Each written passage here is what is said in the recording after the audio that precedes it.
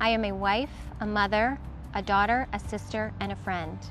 But I never imagined that at this age, with two young children, that I would also be calling myself a survivor. Four years ago, I received the unimaginable news that would forever change my life. At age 39, I was diagnosed with invasive breast cancer. I had no family history. As scary as it is to hear a cancer diagnosis, it is nothing compared to the paralyzing fear that a mother feels for how her cancer will affect her children. Our children, Lauren and Jordan, were just four and two at the time.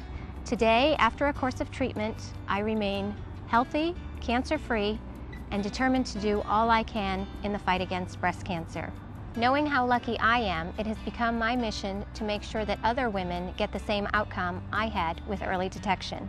Together with an amazing committee of young moms, we launched an annual community education event called The Power of Pink.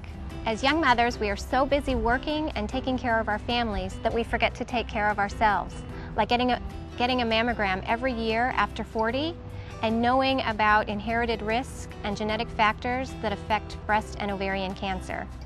I am so grateful that I can sit here with my children and talk about breast cancer awareness. When breast cancer is caught early, it's 100% curable. And knowledge is power.